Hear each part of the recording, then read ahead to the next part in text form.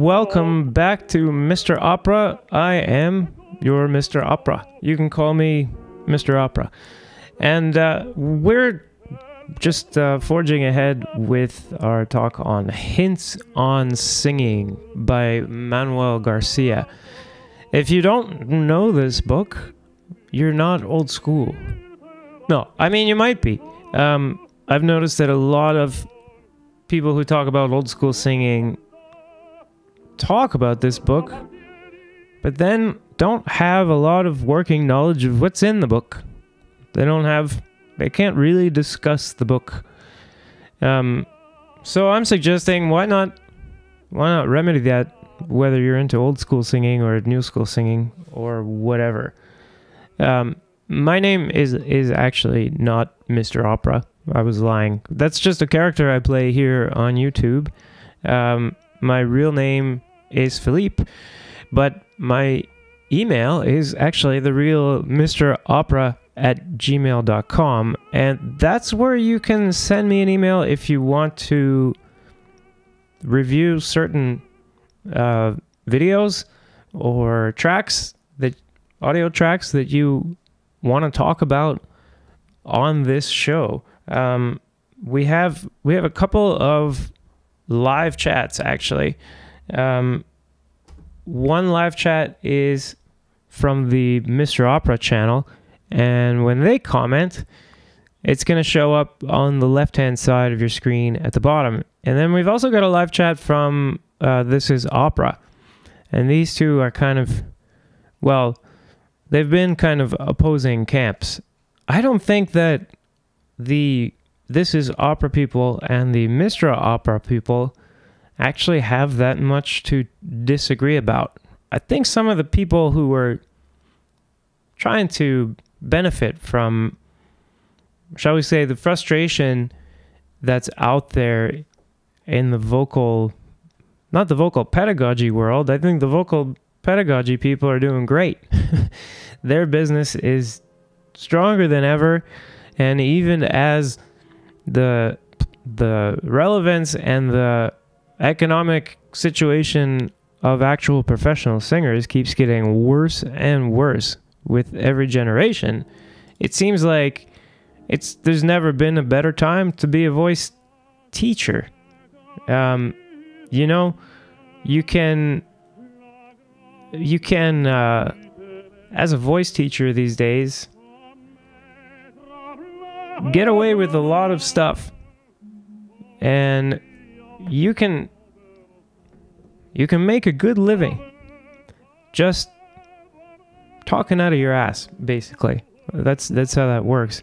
And we have a whole university system that doesn't doesn't really wind up doing it's like it's like you buy a box and the product doesn't do what the basic thing that it says it's supposed to do on the box but anyway, we've got this big mess in the pedagogy world, and um, I think a lot of people talk about like following such and such a thing, but then they don't they don't really read about something like what Manuel Garcia was actually recommending. And they don't think about it like, well, that's something we can think about ourselves. It's something maybe your teacher mentions, and then you you decide to wear this as a kind of badge that I, am old school, I'm new school, whatever it is. That Nobody, well, nobody says they're really new school. Um, except for me. I don't actually say that unless someone brings up old school singing. Um, but all of these these different ways of thinking of your singing don't amount to much if you're not actually making the sounds that you wanted to make. So that's what we're here for. Um, but if we want to be able to work with teachers who are talking about maybe some old school stuff like Manuel Garcia, then we need to know um, what it is that's in those books. So we can decide for ourselves when we're being told something that makes sense and when when we're not being told something that makes sense. Anyway, uh, so again, the real Mr. Opera at gmail.com if you want to send clips that you want to watch of yourself, of professional singers, uh, or if you're interested in voice lessons or coachings on some topic that we're talking about here, that's also where you would write to. Um, and then uh, This is Opera has their own email, so if you want to talk to them, send them an email. And uh, yeah, that's that. So we've got some interesting clips to look at today. We're going to continue with yesterday's discussion, more or less now that we're into the section on men's voices and we're talking about chest and middle and stuff, we've brought up the concept of metal and uh, also density from complete vocal technique. And I've been wondering if this is not maybe some of the missing language that would help clear things up um, and help us help us move forward as far as people being able to ask for what they want in the first place, which right now is not really a thing in classical training, classical voice training. I've never been asked, and I was for many, many, many, many years a student of classical singing, and I never went to a voice lesson and was asked what it is that I wanted. It was always you are this. They would tell me, you know, a lot of times they were supposed to tell me what my Fach was, and they would claim to have some some reason or authority for being able to say that. And a lot of times it, it was like they either explicit or implied that if I didn't listen, it would be unhealthy, blah, blah, blah. You could never succeed. Nobody said okay, you sound like this right now. All of the all of the singers that you mentioned that you like listening to don't use these vocal coordinations. How are you going to get from where you are now and what you can do now to what it is that you'd like to be able to do? And so for that, I think not just reading Garcia, but in general, having knowledge somebody at least having knowledge about actual objective differences between different kinds of sounds would be really helpful. Anyway, um, so I suggest that this terminology from Complete Vocal Technique in Denmark, the Complete Vocal Institute, is probably the best thing classical singing could do for itself. But also, I guess I got to warn you that your teachers are going to be really against it. And basically against anything objective. Uh, because, well, they got attracted to voice teaching probably for a reason. And I know there's some exceptions. There's some good, really good people teaching singing. Um, and of course, I'm like, you know, bad mouthing voice teachers, and I do it myself. So, take that with a grain of salt, I guess. Uh, so let's get on to some examples. Um, the first one isn't going to be an example. This is just a little bit of a preview, some some news. So this uh, Rafael uh, Vasquez guy uh, doing another channel, and he talks about um, old school singing, I guess. Um, and he's got this. Uh, he's posted some uh, lessons between Melocchi and some uh, I forget what the name of the, the singer was. sounds sounds freaking awesome. Um, and I just wanted to take a quick look at. I just want to show you real quick what the issue is with this. So if we listen for this is easy to hear. All of this. Let's see if I can get some levels here. So this is Melocchi talking now. Oh, let's see. rewind a bit. So you can't you can't hear him at all. What he's saying, and uh, this kind of sucks. If I, if I play it, so we hear the piano. Now Melocchi says something, and we can't we can't make out what it is. Well, I can't anyway because of the sound. So I'm I'm working on this sound. Um and I'm going to see if I can with with the magic of computers um and I may have to like get give it to an AI to do or something. But I'm I'm going to see if this can be evened out so that the the voice of of Melocchi is more audible, and then and then the singing would be taken down, and that's probably going to leave artifacts and distort the singing and stuff. But then if you have both versions, you know you can, and you, and you, you, you we could even probably figure out how to mostly leave the part where he's the the guy singing alone and then turn up what Melocchi is saying because that's sure what I'd what I'd like to hear. Um, and people have their different takes on this. Um, and I, I think like the the th- so with the with the Melocchi guys, I think they're they're right about the weight. But when I listen to this recording of the lesson, for instance, um, this is this is fuller density and metallic singing. So the the the waveform, if you were looking at the actual not not the resonance of it, but the source, like the pulse, the the that is making the the frequency, the actual pitch that you're starting with in the first place.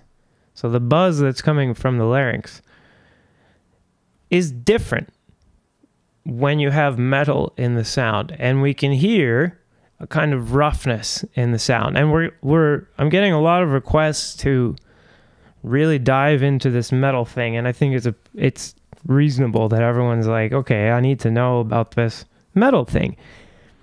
Because it can be a little bit tricky, especially at, at first, to start identifying metal and separating that in your mind from from the resonance that you're hearing because metal tends to go with certain changes in resonance. Like there are certain things about the resonance that have to be there in order to get a metallic sound. But just because you have those things in place with the resonance doesn't mean you're going to be making a metallic sound. So it can be, in the first place, difficult to sort out am I hearing the metal or am I just hearing like some kind of twang that is making me think of metallic coordinations and it's kind of like pseudo metal? And uh, so, hey, Paul Montesanti, welcome, and Olivia Dorian Constantinescu, ahoy to you too. Um, and yeah, so I guess, well, you know what we're talking about. Sorry, I, I didn't um, start up the uh, live stream on the Mr. Opera side quite uh, quickly enough. It's we, we're coordinating here, and I have to hit start stream, and I clicked it, and then I tabbed out of the browser page and it didn't quite connect me. So anyway, that's what. Um, th- there was just a little tiny bit of ranting at the beginning, and then and then I said if anyone wants to send clips and um, of yourself or of other people, whatever, and you want it to be on the show at the beginning part here is when I'm doing the, the video and audio stuff. Um, you can send it to the real Mr. Opera at gmail.com. That's that's my email. Um, and that's also where to write to for voice lessons and stuff, especially if you're if you're thinking about something in person. But gotta tell you that the online stuff is not as not as interesting and probably a waste of your money unless you're really just coaching stuff, um, some some little details and stuff, or looking for just pure knowledge then I guess it could be really efficient. But anyway, um, so that's that's that. I got that off the screen. Yeah. Um. So one, but one thing I wanted to point out is that it seems to me the modern day Melocchi uh, types have the they've got the right idea as far as as they're not afraid to use some effort and some pressure. And they're not afraid of glottals, etc., uh, etc. Et um, but I just wanted to, like, so if we just observe the vocal coordination here.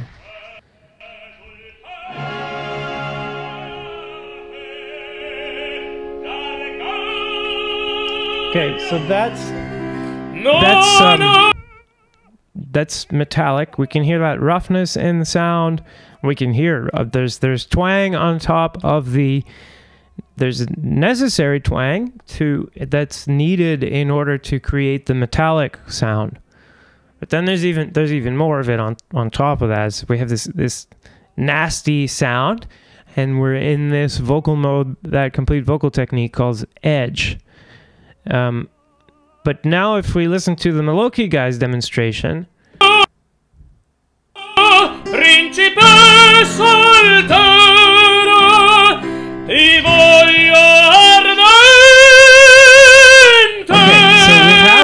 Distortion uh, and that's confusing. So the the high note there's for some reason that I don't know there's no compression and there's no limiter on the microphone. So like when I'm talking to you guys I always there's a, there's a limiter on this on this microphone so that like if I turn off the limiter for instance so put it's like a ceiling and if anything uh, happens that's that's above this ceiling it's going to um, just turn turn it down and what happens, so if I turn off all my filters here on my voice, this should already be sounding pretty different. Um, ah, and now if I start to, if I start to make more noise, no matter what that kind of noise is, it's going to start to distort. So big falsetto here. Um, and that's turning red on my thing so it should be it's probably um, distorting on your end. And that makes it uh, roughness and i hope this uh, demonstration is working because i'm not i can't hear as i do this. So if i turn my filters back on that's a compressor and a limiter. And the, the compressor is mild. It's a, a 41 ratio the threshold is negative 27 dB, so it's just as like light compression on on my voice. Um, but this limiter uh, ought to be keeping it from from clipping. Uh, so let's see if I. Whoops. Oh, I'm sorry. No, guys, I messed up. Uh, no, I messed up. I was not putting my filters on the right place. Okay, I'm going to try this filter demonstration for you again. Uh, use this one. Let's see. Yeah. Okay. So let's try let's try it this way. So I've got my compressor here and my limiter. So this should change the sound significantly. Okay, So here we go. Now I've got the the limiter turned off. So now I should get some some pretty good um, distortion. And I'm just singing a falsetto. So if I get back away from the mic and turn turn down my turn on my filters again, I'm going. And if I get close enough, or let's say I switch the sound and I make something more like, which is not that's not metallic. That's what I would call the grandpa coordination. It it and it also doesn't particularly have a um, nonlinear quality to it. There's no feedback loop. So we in my singing nerd circle, we call this linear pressing because the production is more linear. So you have the filter, the source, and then the filter, and there's not this constructive um, interference going on from a from this nonlinear interaction with the source and filter. Um, but if I turn all this off, my compressor and my limiter, and I do my old man sound, ah! um, probably starts to get. I can't hear it, but again, I'm guess I'm hoping this is working, but it should sound rough anyway. Um, and that's the kind of, I guess, fake metal. Uh, and where this comes from is they listen to the recordings from the lessons, and there's clipping. And the guy is singing in a metallic vocal mode. So you put those two, one is rough and the other is rough. And they can actually be hard to tell apart where where is the roughness coming from? And they the one goes with the other because singing with a metallic sound is loud. Being loud tends to make the microphone clip. If if the microphone doesn't if there's no compression going on and if you're really close to the microphone. So those things already all remind us of metal in the sound. Um, so what I see the the modern Melocchi guys doing is they take this idea of the metallic sound, and I, I don't know whether or not Melocchi was maybe giving giving descriptions and terminology that that could help people to do it beyond his lifetime. So it's one thing if my words don't mean anything, right? But but I can show you. Then it doesn't matter that my words don't mean anything, right? Until I die and you try to explain it to somebody else and you're thinking that the words actually mean something, now you get into trouble. So I wonder if this is the situation with the Melocchi guys. But anyway, that's it's more what I more wanted to say is is I'm gonna try to work on this sound because I would like to know what's Melocchi actually saying. You know, I've heard a few examples in there where there's like Melocchi is showing is showing how to sing the phrase. It sounds like, and he's putting glottals before every pitch. And then the student is not putting glottals before every pitch, and then Melocchi is saying, okay, good job. So obviously Melocchi was explaining something about it, and I don't know what it is. And I'm not sure anybody knows what it is. Um, but it would be great, and it's a lot like the Garcia thing, where I'm not sure people have really established what the heck Melocchi was meaning. And I'm not sure that people who talk about Melocchi all the time actually actually know what Melocchi was saying. That I'm not sure that it's a thing to worry too much about what Melocchi was saying or if it's more about being in the Melocchi camp and identifying with the other Melocchi people and saying what they are saying, which makes you a Melocchi guy, which is fine, except you're not necessarily a Melocchi guy if you're not actually teaching the same things as Melocchi. So this is it's interesting, and I would like to find out because the voice I hear in this Melocchi voice lesson is doing everything that that I spent my whole life trying to do. So obviously people are getting that metallic and fuller density sound from from this practice that Melocchi is teaching. I think it's questionable whether or not that has anything to do with what modern day Melocchi teachers are teaching. I don't know. Based on the vocal coordination I just heard, they are confusing this the feeling of effort or having pressure in the first place with having a metallic sound and uh, fuller fuller density and that's going to need less maybe a little bit less pressure than what the gentleman was just doing. And a slightly maybe a slightly lower a closed quotient if you're talking like how long the vocal folds are in contact.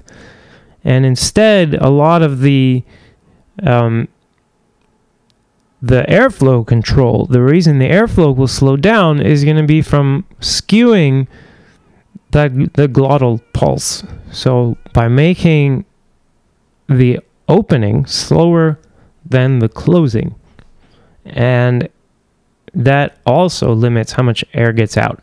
So anyway, that's just a uh, you know coming soon kind of thing for Mr. Opera. Um, okay, next up. Oh, it's a bit loud. Next up, we got this uh, this a rehearsal with with Alagna, and uh, this is the same um the same woman from yesterday. What was her name? Ku Kujak or something. Ku something. Uh, anyway, and this I think is interesting to listen to because this is kind of quote unquote heavier rep. Um, and I guess I'm I'm assuming they're loud enough, but to me these the the vocal coordinations that we're hearing are quite light and so I mean, so, someone would have to tell me if they were actually someone who was there or something. If it, if it was actually enough sound to be satisfying or not, um, because that's that's separate from what what vocal coordination is actually being used. And some, you know, there's some people using lighter vocal coordinations um, that are still pumping out a lot of sound. You know, I think of like Lauri Volpi from the from the tenors, for instance. Um, singing in a much lighter in a much lighter overall strategy than, for instance, Franco Corelli uh, or Mario Del Monaco. These guys are singing, you know, just with more. What would you call it? Den- testicular density than than Lauri Volpi, and uh, so at least from from Alagna, this is gonna this reminds me of that. But let's.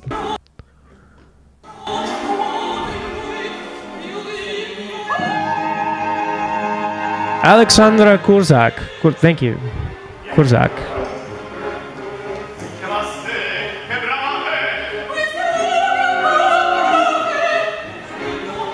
And you guys let me know. I'm trying to watch the levels here.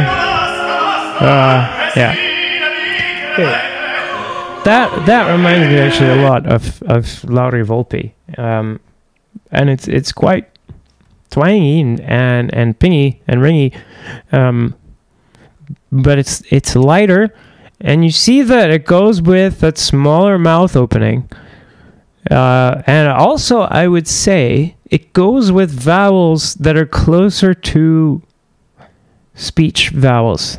They are, in a way, more natural or or more they're more speech like they're more like like you know the shape that maybe he would use when he's speaking. And if he's not going to stay in this all the time um but it's it's interesting the vowel is more pure i guess and interesting to me also that it doesn't necessarily make them more easy to comprehend. Um, so let's, hear a bit more of this. So this E, the the mouth is almost closed, um, and doesn't even doesn't actually sound metallic to me. It might be slightly slightly metallic. It's it's, it's interesting that it works though. That's what's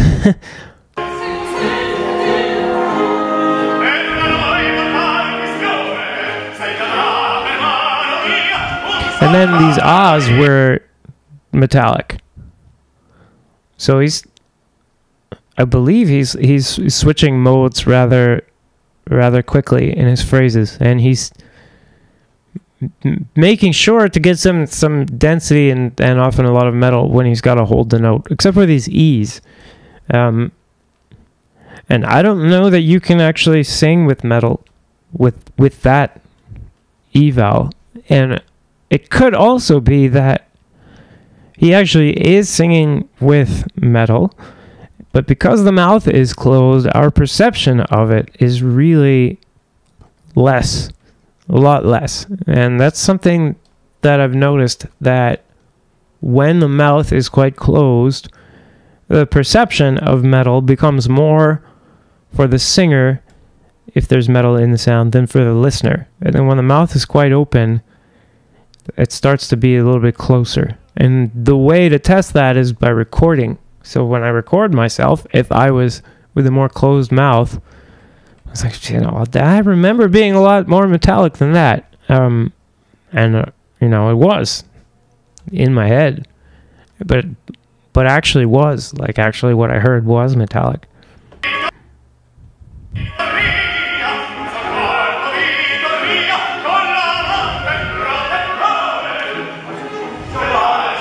Uh, yeah, I hear some of this linear pressing actually in this. It, but also this a lot of this kind of um, Lauri Volpi kind of thing. Uh, but some some of the old man, you know, like uh, hey kind of kind of sound. But uh, uh, should be clear, I'm not making fun of anyone here. This is a highly successful tenor. Um, and a lot of times you'd be surprised like what coordinations are put together to make something work and what you know like a sound you might characterize as nasty sounding like your basic edge vowels from the vocal mode edge in cvt can be used to make beautiful phrases about love uh, and it's it's but then if you stopped and think about oh wait that that's kind of a nasty sound um, uh, let's see. I would say that, um, yeah, Olivia, that's that. Um, there's there's definitely this this using the sharpness of the resonance, I guess, to to make the sound cut. Uh, and that's going to be actually, if you sing with more density, for instance, uh, you don't have to reduce that. Um, some singers do, they round things, I guess, make them more dark, but not all singers do. Um, yeah. Um,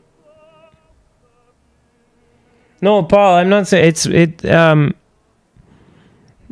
it's it's no it's great. Uh, i'm i'm not when i say for instance like like using using the old man sound or whatever those are not those are not criticisms. That's like that's just that coordination. Like making it sound good is a different thing and he's doing that. It sounds good. Um i guess the the way i look at this is more like I'm taking notes of why it works or, or how it works, not whether it works. I think we're, we're starting from here, from, well, this works, right? Um, but then still, there's specific coordinations being used. Uh, so let's let's hear some more of this. We could talk a bit about um, about Korsak. There's a tenor singing though.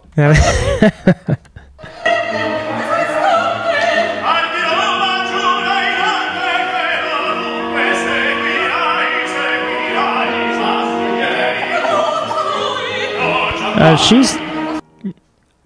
I would say she and she her, she's she's like lower in her, in the respective range.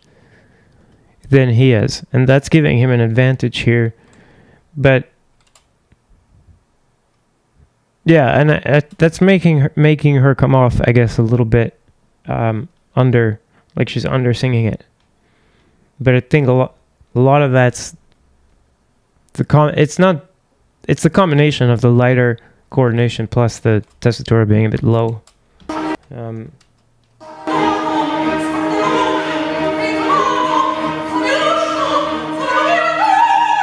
yeah. So now when she's when she's in a higher range, then it's it's um I would say it's a much better balance.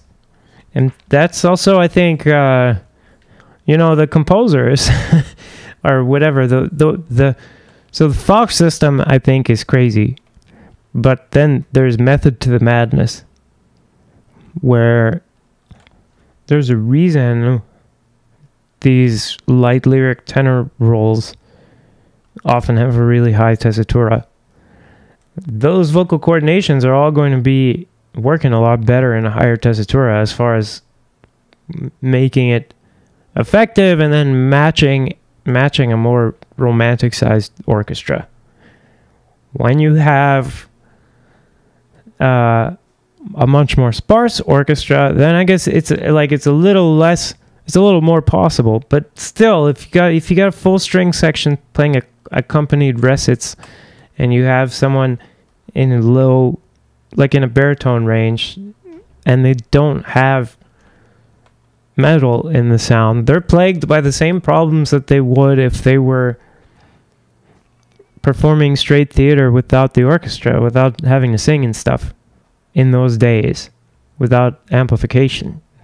Those Shakespearean actors would have been needing to use metal in the voice during their speech, and a, and a lot of these vocal modes that I keep talking about.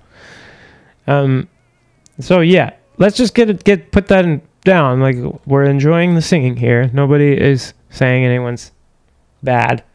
Um, it was just a matter of keeping the vocal coordinations organized and not confused one with the other.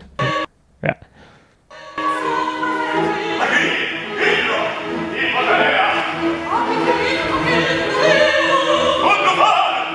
So that's more in like the overdrive direction, I believe.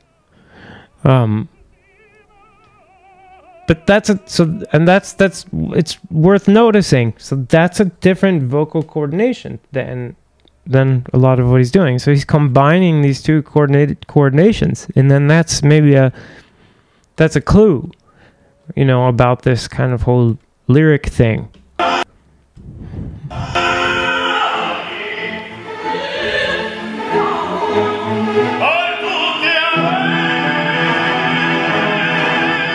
That's fuller density, metallic, um, with the Pavarotti face. With the, um, if I make it a bit bigger here. I guess it's not extreme, but it's this, this lower, the lower lip pulled down. Um, that, uh, Pavarotti's well, well known for. There's all these photos of him. It's, I guess it's more extreme, a bit more like, but we've got get some of that. Um, but generally, yeah, the the less extreme the mouth position, the less extreme the vocal coordinations. um, so he's more lyric, you know. Uh, so we have, yeah, there's there's overdrive. The, I don't think he's do he's yeah, he's doing some curbing. I think most of the um, most of the singers in the world are, unless they're just singing in neutral, but if they're using metallic modes, they're not just. It's not like you you you know you set the dial to edge or curbing or something, and you just stay in that mode. Um, they'll be they'll be combining different modes. But I think that was more more in the overdrive direction than curbing. Um, curbing is only reduced density. You cannot have fuller density in curbing, and it's it's really sort of half metallic. Uh, we could, I don't know, we could next time we could look at those complete vocal technique examples, but unfortunately they on their website the video examples are working, but the sound examples aren't working. I was checking today, so um, I guess does anyone have anything else that they're noticing in here that they wanted to talk about? I mean, it's a it's a it's a great clip. I think. Um, I think it's good for showing. I don't know. We've seen so far in these these um, videos that that Tiber sent that like I, I have my favorite ways of doing things, but there's more than one way to skin a cat. And uh, I think I think the way people who coach should approach it is teach your favorite way. And then that's fine. And you shouldn't have to try to like teach every way, including ways that you don't prefer. When it's totally possible for someone to have more than one teacher just to go, you know, you go to different pe- so you teach the way that you like and really advocate for that way and make the best case for the strategies that you prefer. Um, and then if you're a student, you should be maybe expecting to go to different places, different people that are good examples or very knowledgeable about particular strategies that you want to use. And then not, that's also a way to organize how you, you know, how you imitate people. Choose people to imitate based on what strategies they use. Try to be as conscious as possible about what strategies they're using and try to copy those strategies. And that's, you know, probably a better way to go than than listening by ear and doing your your impression of what they do using what you can do. That's yeah. So um, now we have um, um, um, Fabiano, who I really like. And I was listening to this earlier, and I thought cool thing about it was there was some examples of like breathy neutral, even.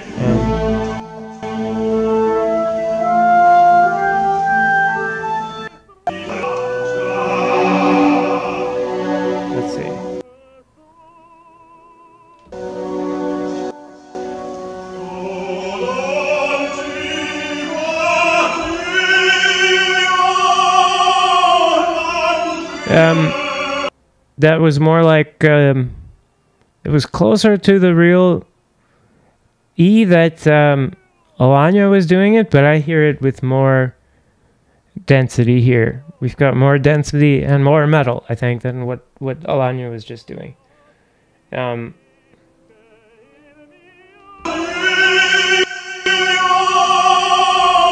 that edge, I guess, or it could be that could be overdrive. That's not curbing. There's no way. It is. I wouldn't buy it. That could be, but I don't think it is.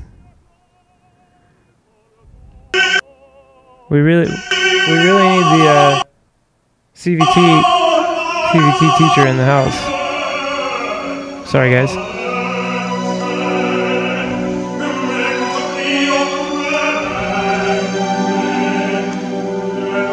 That that le at the beginning of the phrase, that's neutral.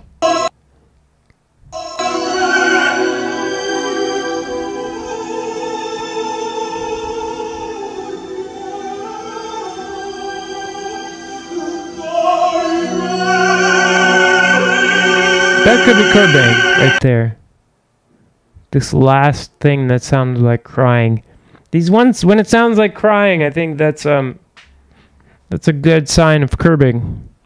Um, But what was interesting there was that we heard some neutral, basically like falsetto, for for one phrase there, which is totally doable when there's almost no orchestra like this. Um, but it almost sounded like he put some roughness into the sound with like almost vocal fry or distortion or something like that, which is a cool effect because now it's soft, but it's still rough. Let's let's hear that again.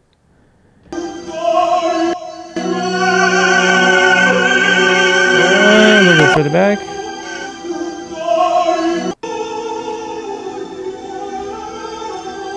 Let's see how far back I have to go. All right.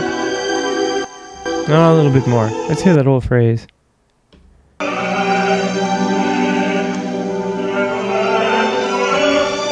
Should be really abrupt. So it's really abrupt change. Yeah, this is like kind of maybe neutral with air, or something like that. But that's totally. Um, I guess it's not it's not showing you know using all modes because it's such a, an exception. It's like a special, special little moment, and you you could never obviously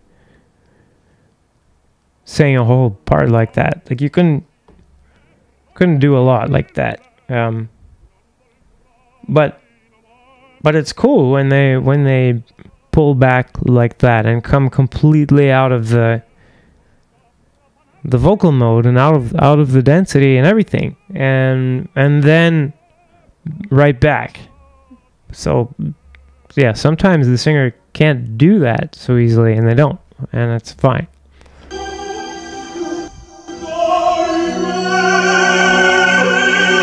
Um, yeah, Paul, uh, I'm not sure what you mean by cover. For me, covering is any time you're sort of rounding, um, rounding the voice. I guess I take the same. I don't know if Garcia called that rounding the voice. I don't know. Um, but there's also someone could think of covering as going for the for the um, F2H3 coupling, so coupling the second formant to the third harmonic, which has which is going to involve some darkening, and it's it's not um, set in stone where you have to start, I guess, turning over like that. You could do it at you could do it at F, but you could do it at like E flat four or something. Depending on what it is that you're trying to do. So i don't know if if, if you mean that um i don't know. Usually usually you're noticing stuff that i'm not noticing. So uh maybe if you explain a bit more what you mean. Then i'll hear it too um so yeah that was just something i i noticed that was cool. Fabiano here, I think, is using um, something in the middle, but a lot of fuller density. That's fuller density, metallic. Uh, we have, what is it, overdrive or something, or edge. It's fuller density, metallic, mouth as a consequence, or not as a consequence, as a prerequisite, has to be very open or we wouldn't hear all that metal. And then if you're looking at at, at Alagna, you know, it's a, it's a little bit less open than this, the mouth. And you hear less metal. And um, yeah, it's hard to tell if that's, you know, at the source or just what we hear. I don't know. Um, but it's really cool to see all these that looks like cool. Let's hear what that sound is. So, Moyo.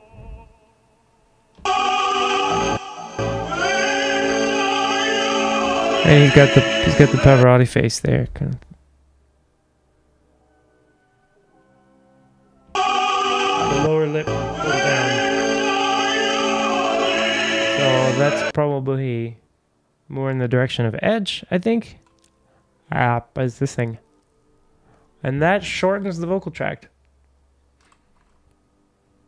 It's part part of his shortening strategy.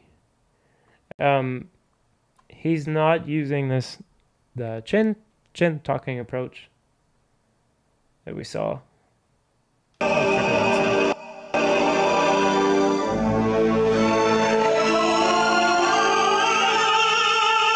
Now you so you see uh, with the mouth more closed, even with bare, there's not a lot of orchestra there. Um, but check out how much more quiet it is. Okay, uh, let's see. I don't. This is yo yo mate asks, uh, does Fabiano's falsetto really ring out in the whole theater and have the same gasping effect as when you started in the full voice? No, no, I would I would not expect that. No.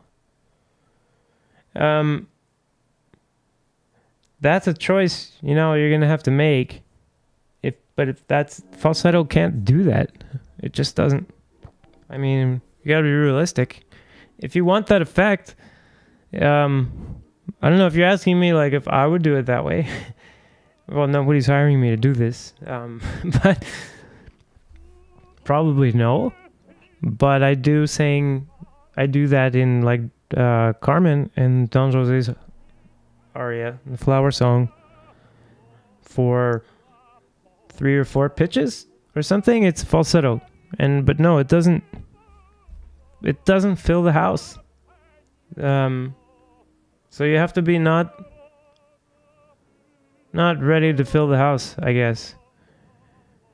Um, and I don't think these this old school guys were not really doing that either.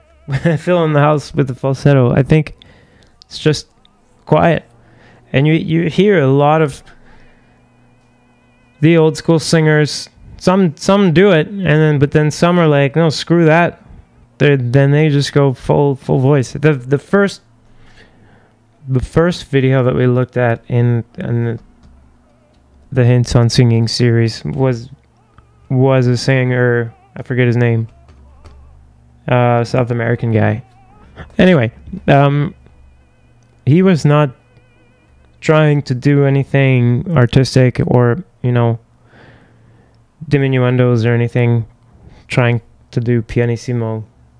Uh, he just went. He just went for it, and that's. I think that's like. You should do what you want.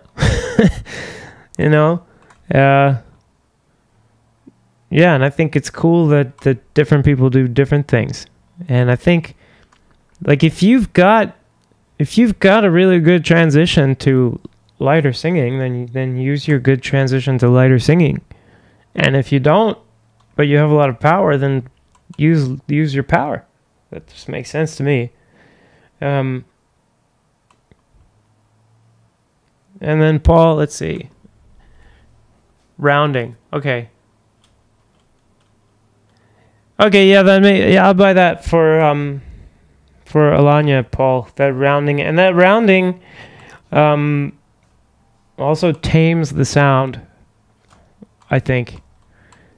Uh but it it'll it'll it's it's allows for this lighter sound in a way.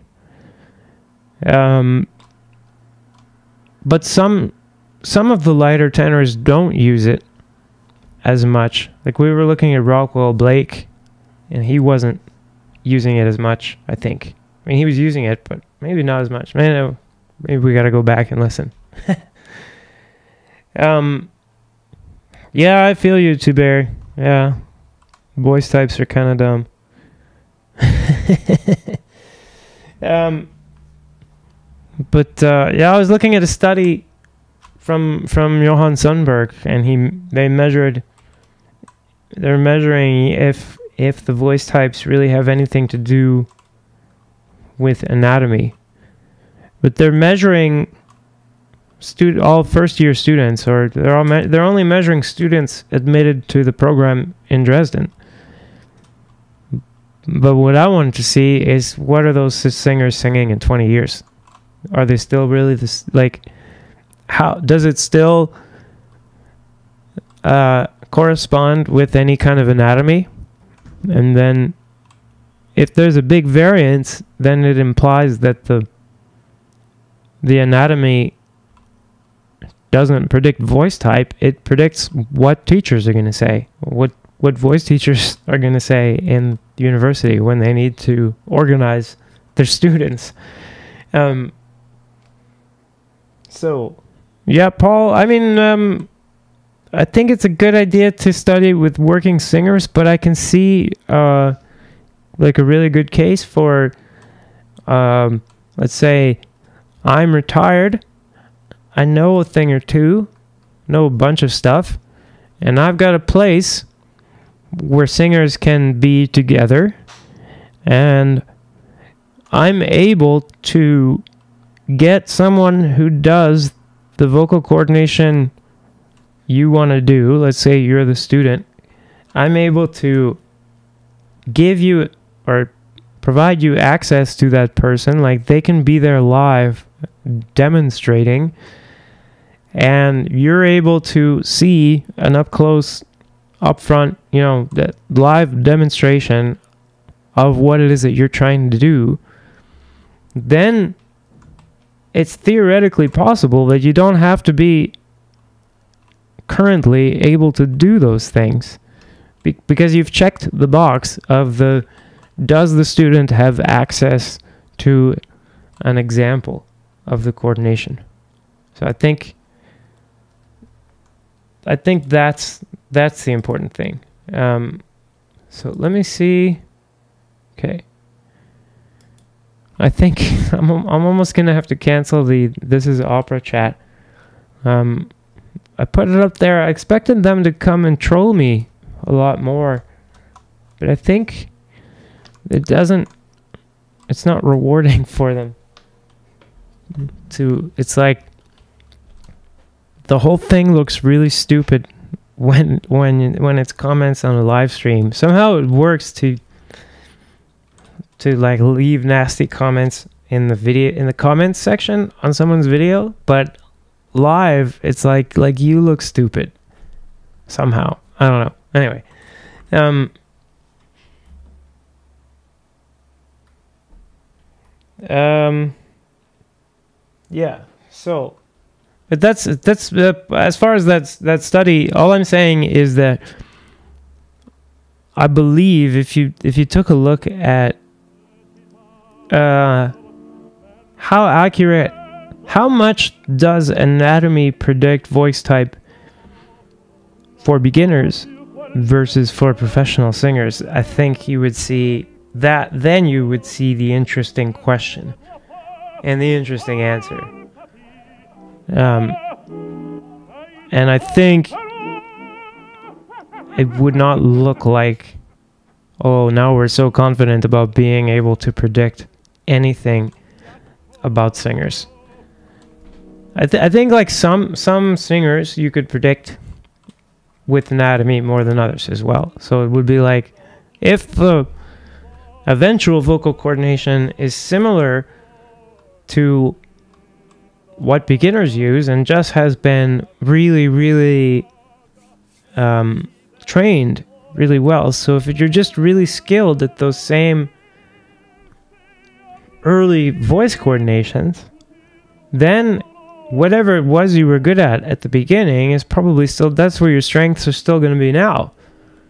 But if what you eventually do relies on completely different coordinations, then well, what are you measuring?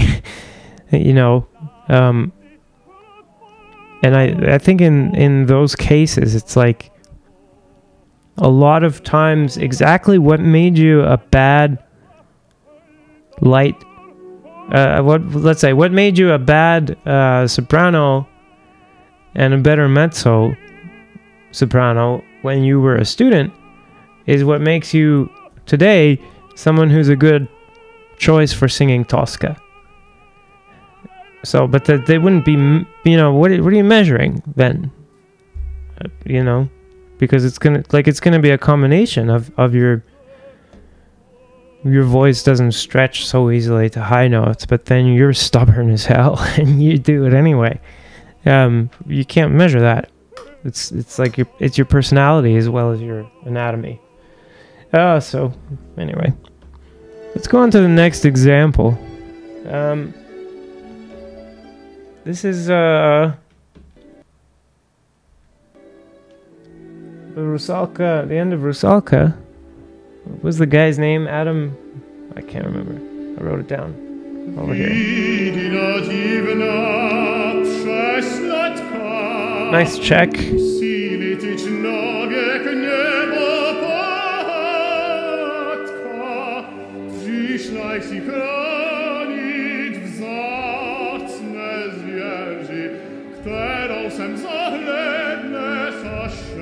Let's um, let's see. Przyszła.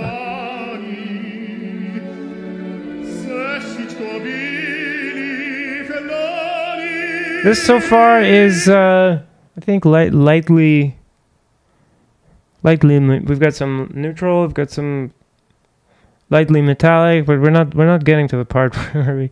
It's it's not the most density. It's a sweet sound. I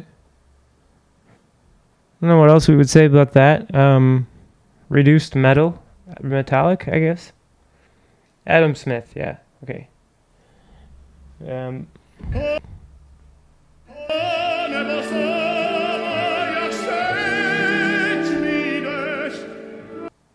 interesting.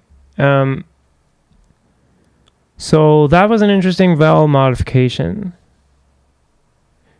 That kind of implies he's more going into the fuller metallic area, but it was weird. So the word is sheets. um, and he changed this sheets to sheets. Let's see.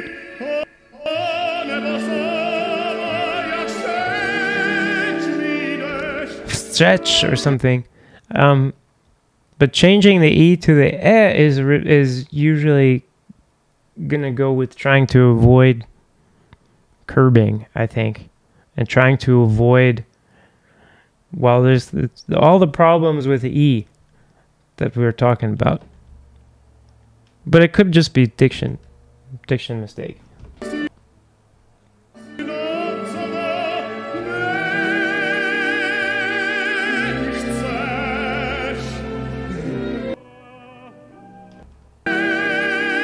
Okay.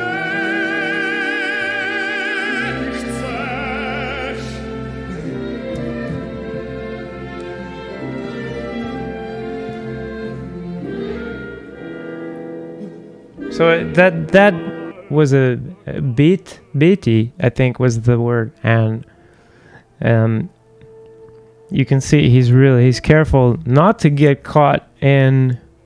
Because I think he would run into trouble if he wasn't in the position Alagna was using for this E, which was more like E is like mouth like this, and this guy is eh eh, which implies to me this edge and overdrive.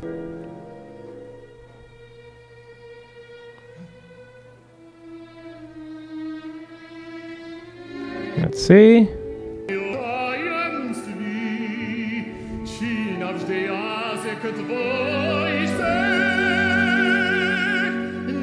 Yeah. Well, there's the overdrive direction, I think, and then um, uh, uh, uh, or uh, uh, uh, kind of sound. Oops. Let's see.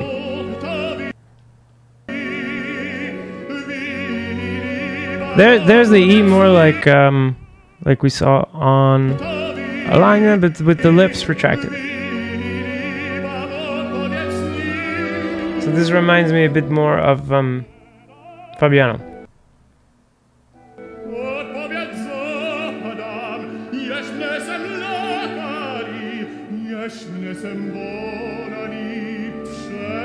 And then these, so you can hear when he when he's on that E with that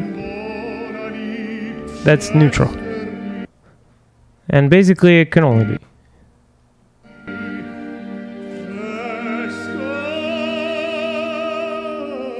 Sounds great, by the way. Let's hear the end.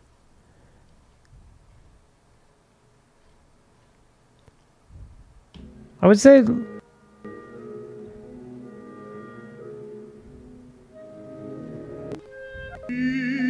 lot of reduced metallic, I would say.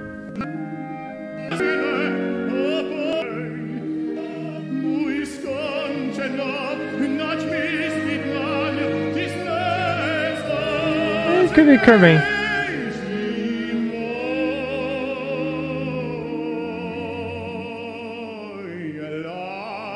That's and that's that's metallic. That's just regular metallic. So uh, at the top, I'm a little, a little confused what he's doing. Um, certainly is nice. I think he's reducing the metal as he goes up, and then increasing it a bit at the bottom. Let's see the next example. Next example. Oh, let's see. I got Caruso in the way here. Okay.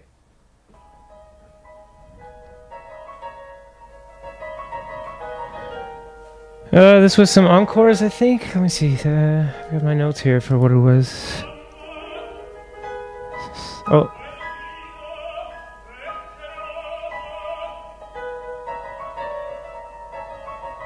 This is uh, Addio alla Madre. It's a little quiet.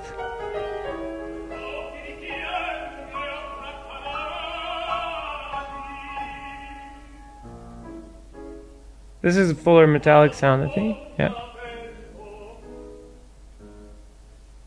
It's a little quiet. A lot of noise.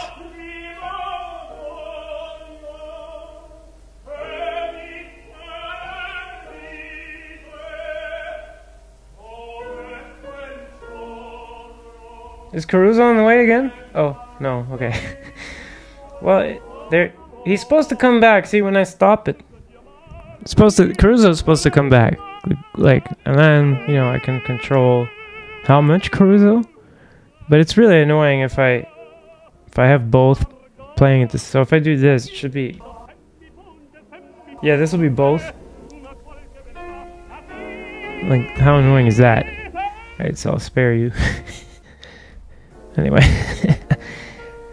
I just gotta be careful how I push the buttons here.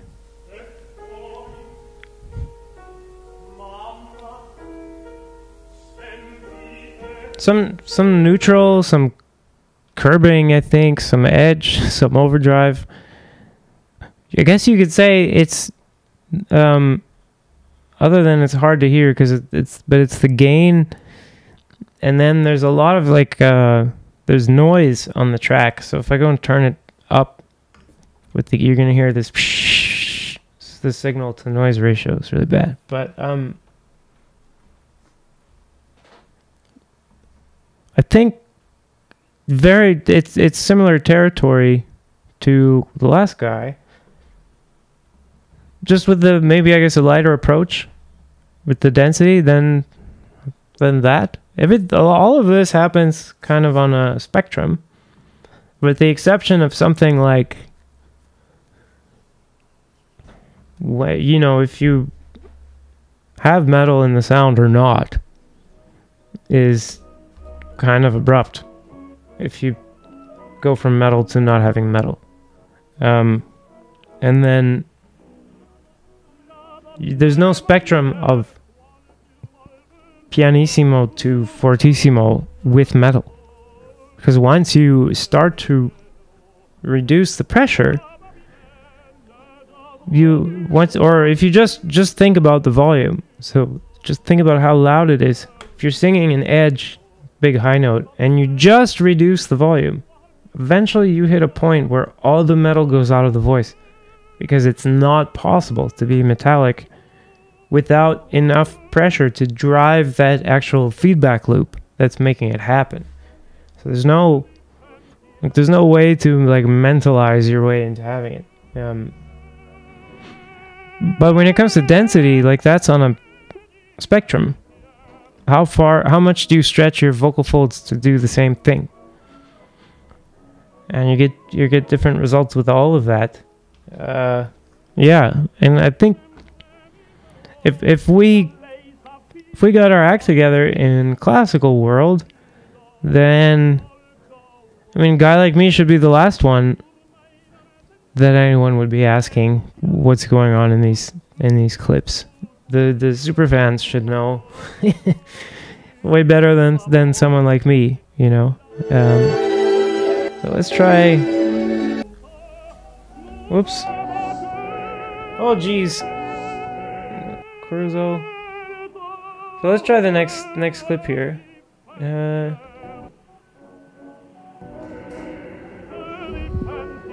we've got another Caruso's back. Wait. Okay.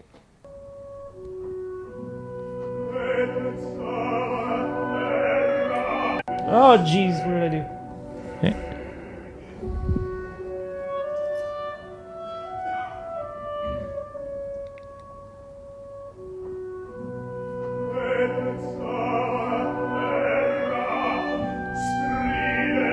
Yeah. There's metal in the sound already, I think. So it's it's on the quieter side, but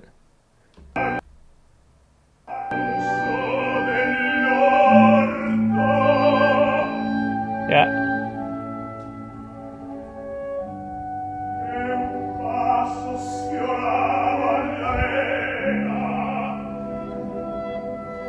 So this is a different approach.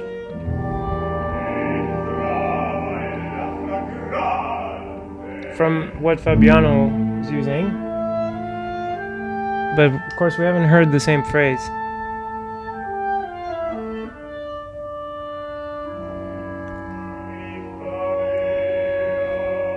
But this is more taking it like like the rest, you know, just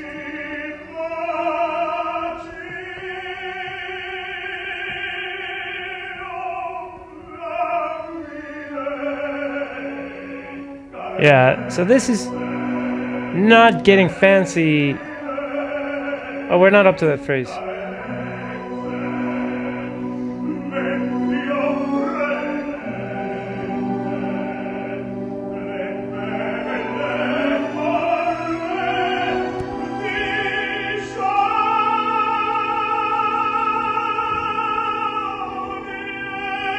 Okay, so he reduces the density and he reduces the metal, but this never goes into the same uh, neutral vocal mode that Fabiano was using.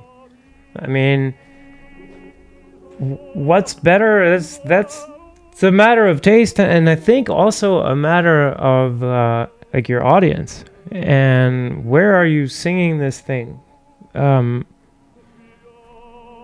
what do your colleagues sound like? What you know, and maybe that's casting. Um, I prefer for myself, and then if you ask me what's the what's the safest way to go, I would say this.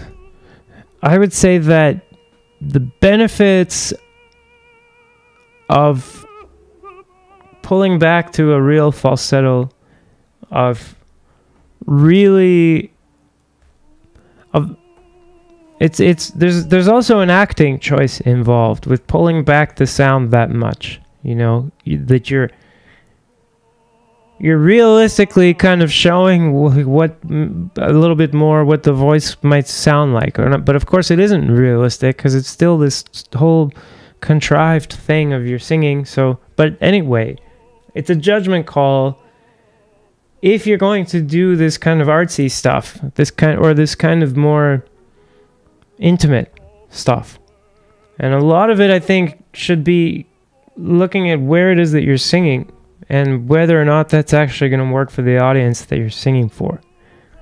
And then also like what do you what do you actually like? I like this way of doing things, and this is uh, Stefan Pop. Um, so looking at that phrase, this is how I would recommend um, going for the phrase. But there's also these these other options of um, pulling back all the way to falsetto, for instance. And that's something more like what I was interested in maybe like 20 years ago or something like that. Uh, but maybe only because because I was told that that was what smart people did. You know, smart smart artsy people are supposed to like this kind of uh, thing. And then singing like this is kind of just more more for the jocks, for the athletes. I'm not sure I agree. Uh, okay, so let's go. Now we have um, uh, some Bizala.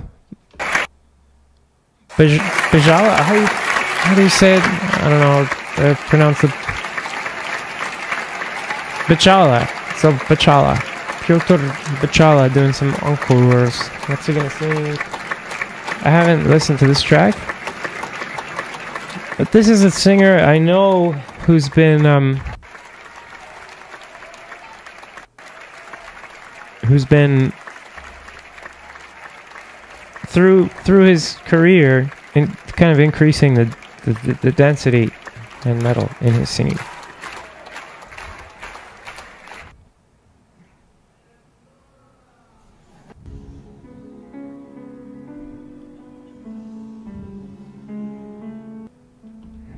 Let's see if we can get a better view here.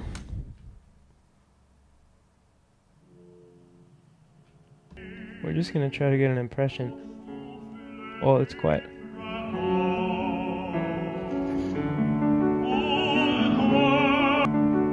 So Werther,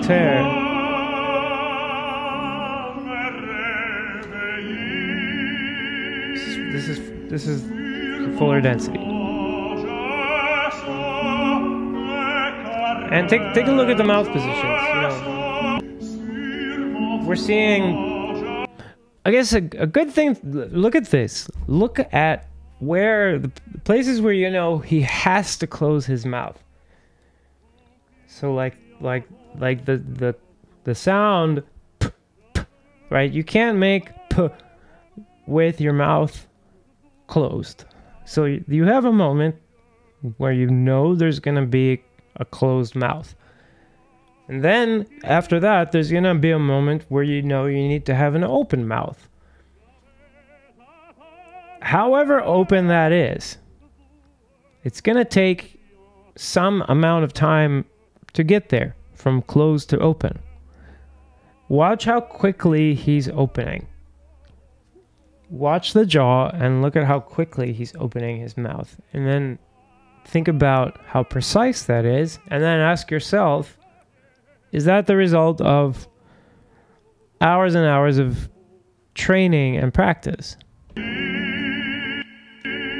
Of course, I start and I start the sound, and his mouth is more closed, but that goes with the, the uh, quieter sound. So let's, let's wait till he. Yeah. There we go. So take take the word te, right, and um, could be te if you were speaking more. I guess if you were trying to be as French as possible, or whatever. This t, you're gonna have to at least. I mean, you don't want to go te, right? So you're gonna have to almost close. Um, but definitely the tongue is gonna have to touch up there. So things are gonna have to close and then open. And if that happens more slowly, think about it. If it happens more slowly, but the vowel happens at the same time, then the resulting shape is smaller, the size of the opening. These are big openings happening with the same timing as some other tenors will create smaller openings. It takes effort to make it happen. Let's rewind that a bit. And then we'll watch the phrase before as well so you can see the the kind of um, the volume contrast it makes.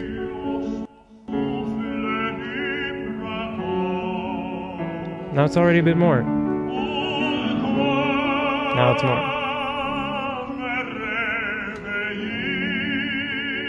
Really cool clip. I love that we can see from the side.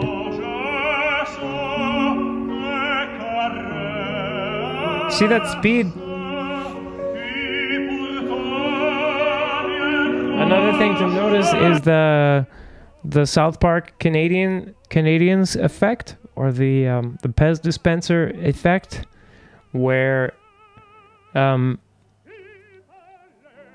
sometimes rather than bring the jaw up, some of that movement is assisted by the head coming down and, and up again so that you get this hey guys! Ha ha ha kind of thing.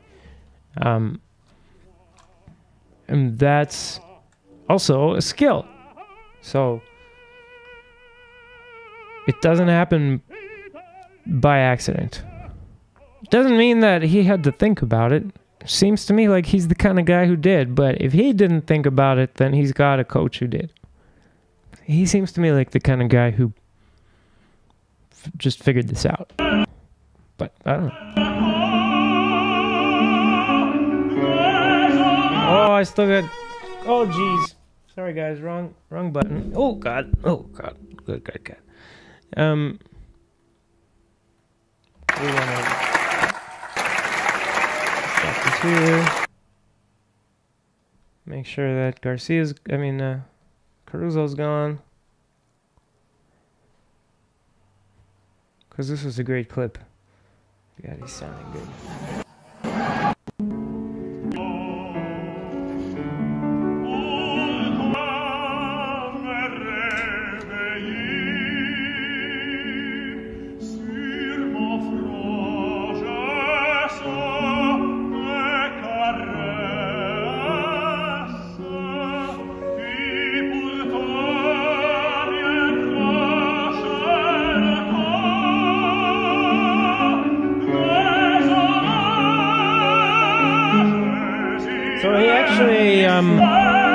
Take that, that high note as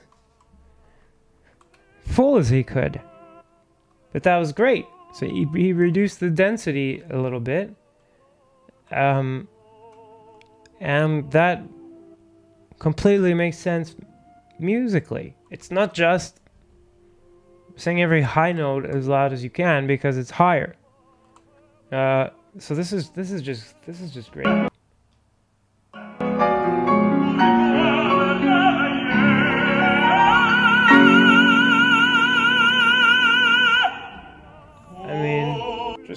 Just your standard great.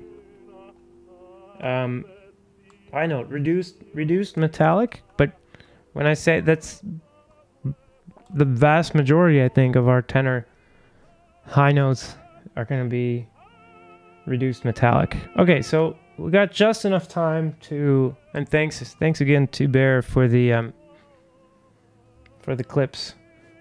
Uh, I think I guess we'll we'll look at the next next one next time and hopefully we can also try to try to talk about this Melocchi thing and then um maybe I can I can find some some literature or something.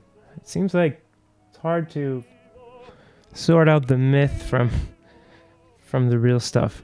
Uh so but why don't we get to hints on singing? Um now that we've done now that we've done the fun part, let's read a section. Got a little bit of time. Someone's waiting for the uh, for the internet, so um, we were on fatigue of the vocal organs, so we were about to talk about the study of agility. While the faults of emission are mending, is there any other study to be pursued? The acquirement of agility. How is this to be obtained? By the study of diatonic scales, passages of combined intervals, arpeggios, chromatic scales, turns, shakes, light, and shade. How long will this study take? Not less than two years. Is agility the only result of this study? When properly directed, it renders the organ flexible, even, mellow, besides strengthening and preparing it for the florid style as well as for the plain and declamatory canto fiorito, canto spianato, canto declamato. See page 75. Cannot singers avoid all that trouble?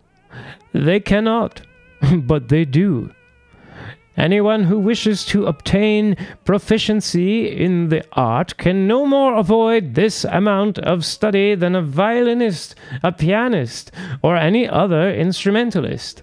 A less ambitious singer may be content with ballads or nota e parola pieces.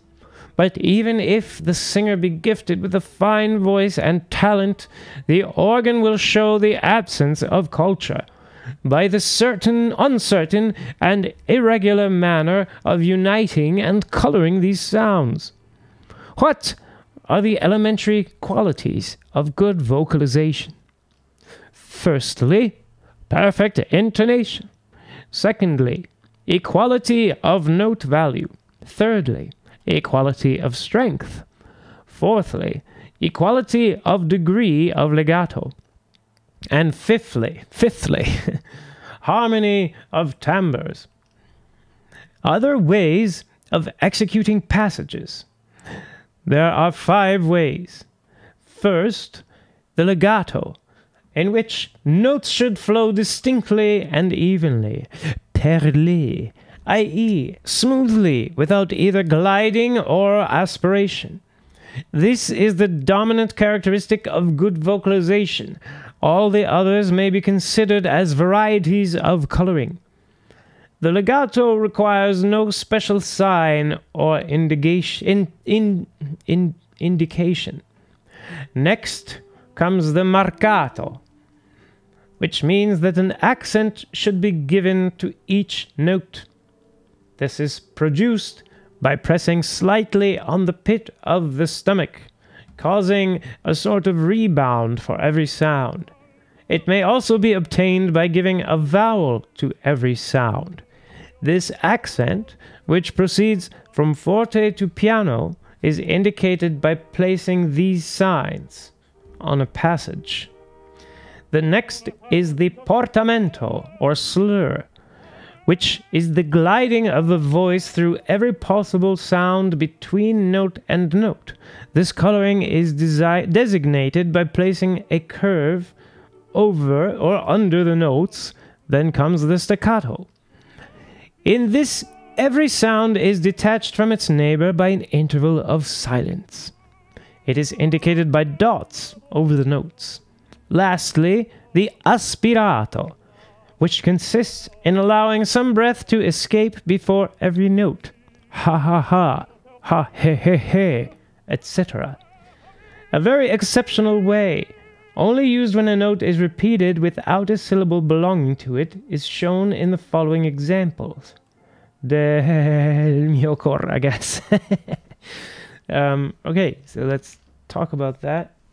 Um, before we do that, I just have to let you guys uh, receive this important message from the cat.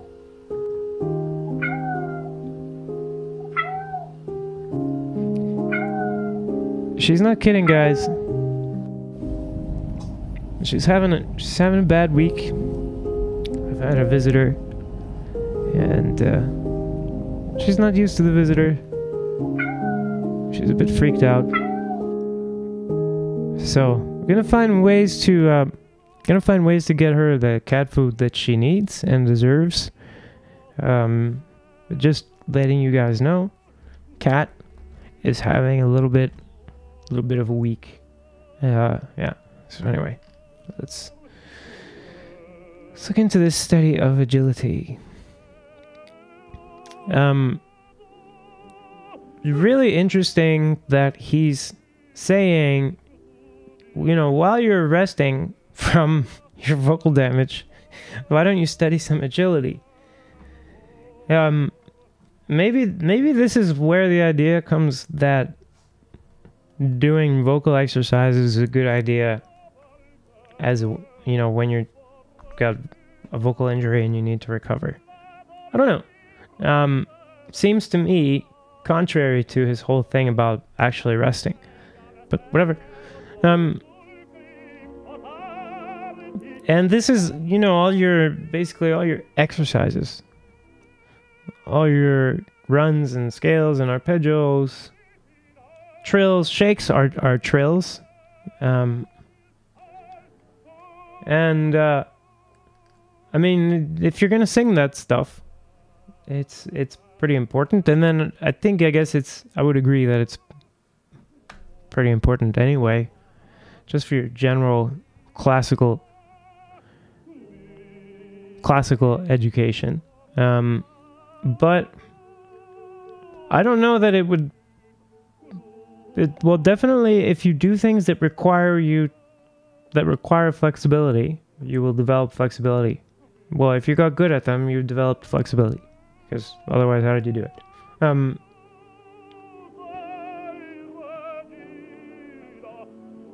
but interesting that he's claiming doing scales and stuff is going to be the way to prepare for declamatory singing, the, which, as far as I know, is what he's actually famous for. With this, this um, tenor Duprez guy. That, although I didn't actually go, someone somebody challenged me on that, whether or not that's actually true that he taught Duprez and and actually it's just something I was told and I don't know that it's true. So I don't know that Duprez studied with Garcia. That's what's said by someone. Um, but interesting that he's re- he's recommending scales. So the one thing he's, he seems to be really good at at writing scales down in the book, and he recommends that not only for the florid style, but for the for the uh, canto declamato and and and such. Which is interesting. I mean, I would expect him to say something like, "Well, you know, if you're gonna be doing vocalizations that are closer to speech, then you you have to you're gonna have to break down." You know all all the challenges of articulation and keeping the voice strong while articulating. Because that seems to be I've you know I've heard even pe- people who were following this is opera even which is because I mean usually they're they tend to be like kind of worse singers than the average person. But I, I heard there was one guy he's probably teaching now but he had his um, his actual like vocal coordinations that he was using. I would say, like at the time, I was clashing with him. Like his actual, uh, like the density in metal that he had in the sound was more like what I wanted. Was it was it was like better than what I had. I thought. But anytime he tried to articulate anything, the whole, like everything would fall apart. Like the tuning was all just like all over the place. Maybe the metal would just go out suddenly, and etc. etc. Um, but it seemed to me like the way that he got that was by but was by training that, not by training how to do scales and stuff. But probably training how to do scales and stuff would have helped a lot with not losing that coordination. So maybe maybe Garcia's on to something a little bit here. I don't know. Um, I could tell you that probably the like I I think the thing Beczała was doing with how quickly the jaw per- performs these movements that it needs to perform. That's an example, I think, of the kind of skill that's going to really improve this canto declamato that he's that he's talking about. And that's it basically the kind of singing that I prefer. I'm not so really into doing runs and scales and stuff. I don't like that. I like uh I like when when when it's when it's almost like talking, you know, or or I like having nice tunes, nice melodies, great. Uh, but I- I'm not a big fan of of all this florid stuff. But someone else could be. Um, yeah. And then it's interesting that he says it's going to take at least two years. You know, he's looking after the bottom line. You got to respect Garcia for always thinking about paying the bills. so, I mean, he's he's got that there. um, and if you ever say something like, "Well, you know, I've been here for a year already," then he can say, "Well, it's in my book that it takes at least two. um. So yeah, it makes sense. You know, he says you, you shouldn't avoid this unless you want to sing only nota e parola. Um, and if you don't, you'll show the absence of culture because you would you would literally have the absence of culture. So what else would you show? Um, but I could, you know, I guess can you can you actually picture a, like Roberto Alagna doing his scales and exercises? I can't. I can't. Um, and he still gets a, he gets a really successful result. But then maybe I would agree this guy probably is not doing his scales and then there's this lack of of culture by which I mean like it's it's not predictably refined, I guess. And that's cool. And at the same time, it's going to be the result if you don't do scales and stuff. Um, so I guess if you're not going to do your scales and all that stuff, be sure that you're going to come off well when you have this absence of culture. You've got to be an Alagna. And then that's going to, there's a lot of things there that you got to be. Um, and being especially charismatic is going to be one of them, I think. Um, yeah. So, let's see. Good. So elementary qualities of good vo- vocalization. Perfect intonation. We can all. There's nothing, of course. It's equality of note value. So rhythmic. I would put that. Um, in general, that's what I wish had been stronger in my university schooling. You know, like if you're gonna sing opera, I don't think it matters that you can sight read or not. So it help like you should be able to sight read with your fingers, but like I don't, I'm not a strong. You put me in a choir or something, I'm gonna be slower than good choir members at sight reading my music. Um, but your your actual ability to stay in rhythm, etc., etc. Oh, that is um that's a big deal as far as having the time to actually do the techniques you train to do. So you're practicing, practicing, practicing, and you're expecting to do them, to do the phrases that you practiced in the way that you practice them. But that's all depending on you being prepared in that moment. And if you're rhythmically a little bit behind, you're going to be playing catch up and you're going to be a mess. And um, yeah, so you want to avoid that. And we've got 10 more minutes. So I'm going to finish this as quickly as possible here. Um, and he wants in legato. So this legato passage is important, I think. This is one of the most important passages in the book, I think, for modern day singers. Um, what he's saying is that legato should flow distinctly and evenly, and there should be no gliding or aspiration. And he's also saying that legato requires no special sign or indication. And that's different from marcato, because marcato is when there's an accent given to each note, um, which he's saying is caused by pressing slightly on the pit of the stomach, so increase in pressure. Um, it's interesting. I, I really wish we had something like recorded examples of what he considers to be legato because so we need the notes to flow distinctly and evenly. What is dis- distinctly is how distinctly how. And uh, without gliding or aspiration. So no break in the line the aspiration part but what's the gliding is that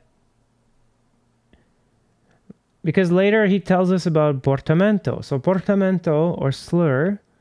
Okay, so portamento is slur is gliding. So in this we have no gliding and no aspiration. That doesn't seem logical or possible. Right? Because if you don't have an aspiration, you had some kind of um, continuum. The change in pitch was was continual, not suddenly going to a different pitch. It's or you know it. If I think if you could do what he's saying, it would sound like auto tune turned all the way up, where you don't have any kind of glottal or aspiration or anything, but at the same time, there's no there's no curve going from one pitch to the next. It's just you're on this pitch and then suddenly you're on this next pitch. That doesn't quite make sense. As far as I know, the difference between legato and glissando, for instance, or um, portamento is how fast is the gliding. So I guess I would, you know, it's like rewrite this to say that the gliding should be so fast that it's not really prominent. It's not distinct. um, so, but he's got this interesting comment that's like, I bet it's probably the most important style hint, maybe like historical hint in the whole book. Because in this passage, he's literally giving you the words for how to read music. So this is great. But he says legato requires no special sign or indication, meaning if the music is from this period or before and you don't see anything, it's legato automatically. Um, and then marcato, you have slight accent, and uh, that's different from from what he talks later about aspirato, which has ha ha ha. ha. So if you remember that, like Marilyn Horne was doing aspirato, and so she's a really famous superstar whatever. Um, Garcia would probably come along and say, "Well, that's not written aspirato." So, but I'm not sure. He, does he tell us um, how aspirato is written? No, he doesn't give any. He doesn't say in the section on aspirato what in what you're actually supposed to see written. Um, he has this accent mark over the second. Okay, de el mio cor, something like that. Um, so this is interesting. This this musical example at the bottom, we don't hear this anymore. We don't hear this kind of aspiration used in this circumstance where we have because the the reason he's using it is we've got eh and then um he wants this break here and I guess that's going to help organize with the conductor the hel mio.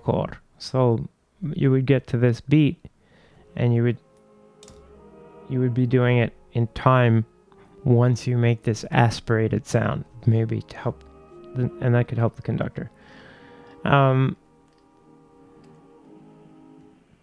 but back to what i was saying is that if you can in general be rhythmically like leading the conductor if you will or at least not making things difficult for the conductor if you understand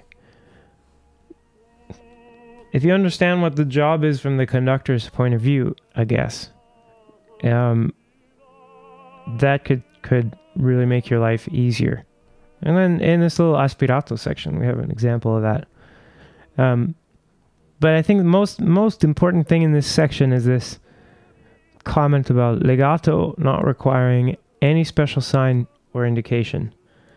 Um, also, also, I guess to some extent, what he says about the portamento or the slur is pretty important because uh, these these curves I was told in university or it was maybe later on you know I would say oh they just they would say like oh they just put that uh, because there's more than one vowel on the same there's more than one pitch on the same vowel. And that just indicates that it's one one vowel. But then I, I i wonder if it's more than that.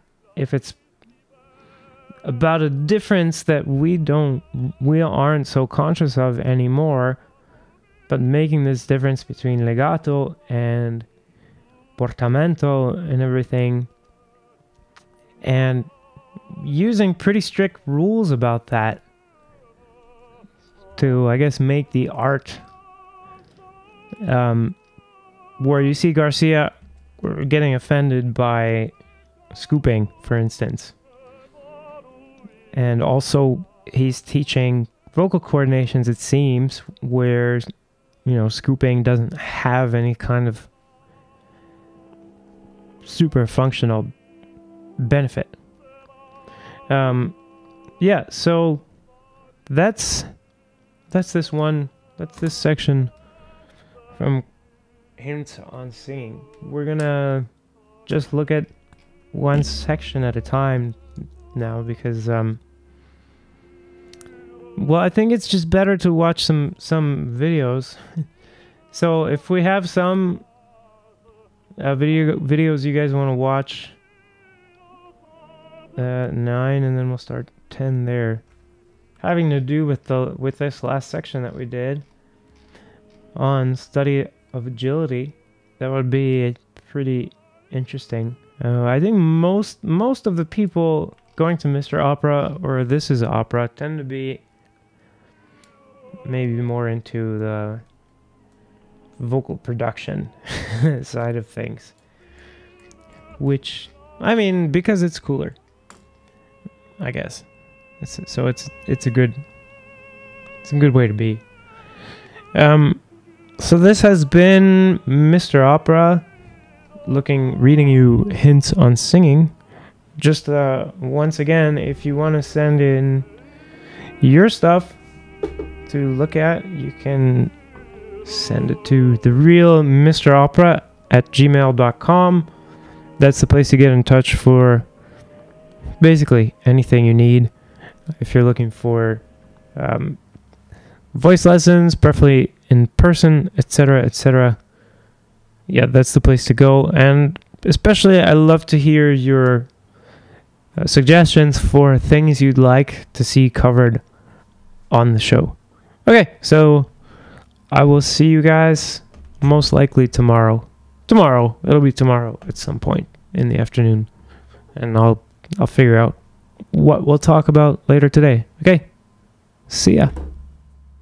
Oh, no. I'm to try one more time. Okay. See ya.